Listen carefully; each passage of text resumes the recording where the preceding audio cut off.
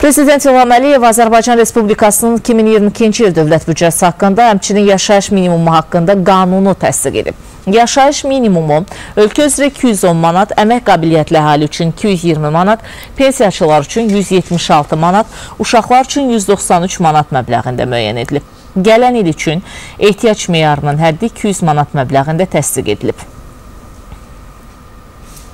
Dövlət başçısı Müdafiə, Daxili İşlər, Ədliyyə, Fövqəladə Hallar Nazirlikləri, Xarici Kəşfiyyat, Dövlət Təhlükəsizliyi, Dövlət Gömrük, Dövlət Miqrasiya, Dövlət Sərhəd, Səfərbərlik və Hərbi Xidmətə çağırış üzrə dövlət xidmətləri əməkdaşlarının maaşlarının artırılması haqqında da fərmanlar imzalayıb.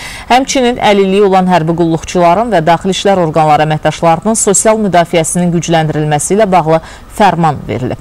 Daha bir sənədlə 1-ci Qarabağ müharibəsi əlillərinə birdəfəlik ödəmək üçün üçün 50 milyon manat ayrılıb. 1997-ci il avqustun 2-sinə dəyə olan xidmət dövründə Azərbaycan Respublikasının ərazi bütövlüyünün, müstəqilliyinin və konstitusiya quruluşunun müdafiəsi ilə əlaqədar əlilliyi müəyyən edilmiş hərbi qulluqçulara, daxili işlər orqanlarının əməkdaşlarına və ya onların vərəsələrinə bir dəfəlik ödəmə veriləcək. Birinci dərəcə əlilliyə görə 8800 manat, ikinci dərəcə əlilliyə görə 6600 manat, üçüncü dərəcə əlilliyə görə 4400 manat.